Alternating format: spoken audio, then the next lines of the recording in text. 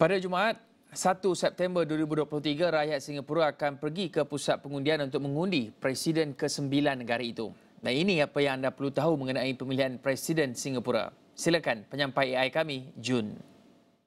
Presiden Singapura ialah ketua negara dan mempunyai kuasa terhad tetapi signifikan, seperti memberikan persetujuan atau penolakan terhadap pelantikan penting dan melindungi rizab negara.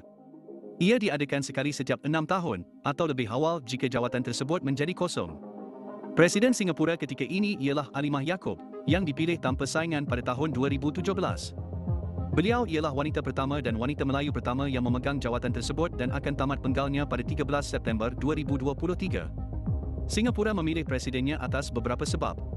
Antaranya, untuk melindungi rizab negara dan integriti perkhidmatan awam, untuk mewakili negara dalam tugasan diplomatik rasmi dan bertindak sebagai simbol perpaduan nasional, untuk menyediakan semak dan imbang terhadap kerajaan dan parlimen.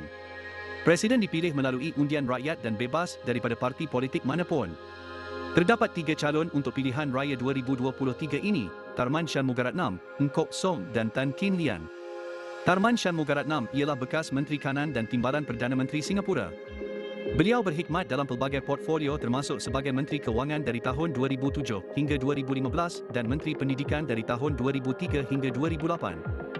Nkok Song adalah bekas Ketua Pegawai Pelaburan GIC, Dana Kedaulatan Kekayaan Singapura. Beliau menyertai GIC pada tahun 1986 dan bersara pada tahun 2013. Tan Kin Lian adalah bekas Ketua Pegawai Eksekutif NTUC Income, sebuah koperasi insurans terkemuka di Singapura.